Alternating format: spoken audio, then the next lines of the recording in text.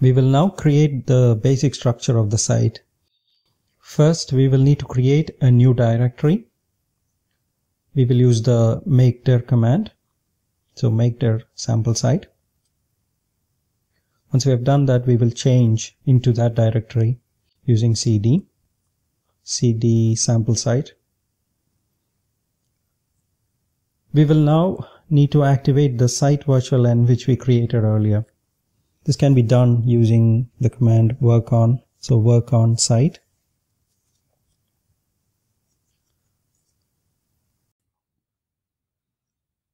We can create a basic structure for the site using the Pelican quick start command.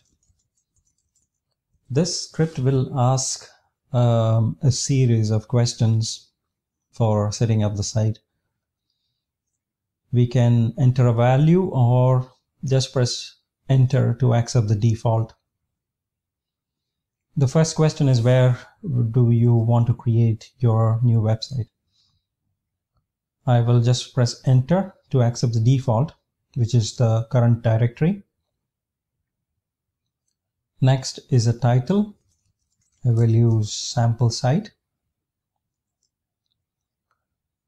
Next is author. I will just enter my name here. Next is default language.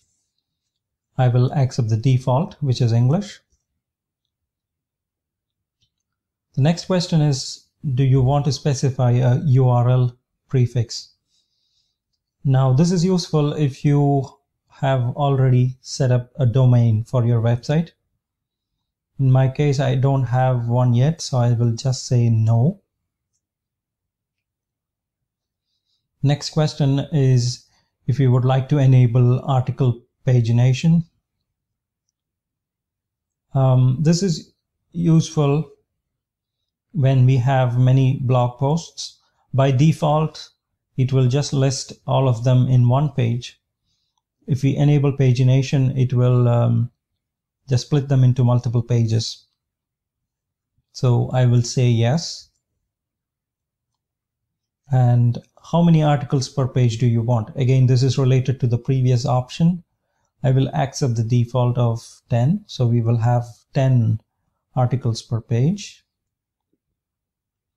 The next question is if we would like to generate a make file or and fab file for automation. I will say yes. The next is if we need an auto reload and simple HTTP script for site development. Now, this is very useful when we are continuously updating the site. The changes are updated automatically. So I will say yes here. The next set of questions are all related to how we would like to host the website. Now, in this course, I'm just going to use the GitHub Pages feature to upload our site uh, to GitHub. So I will be saying no to all other options.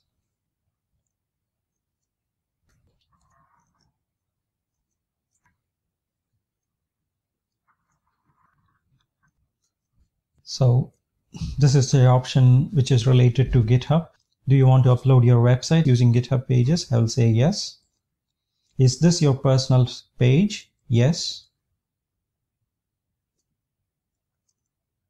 And that completes the site configuration procedure. We can now proceed towards writing content and building the site.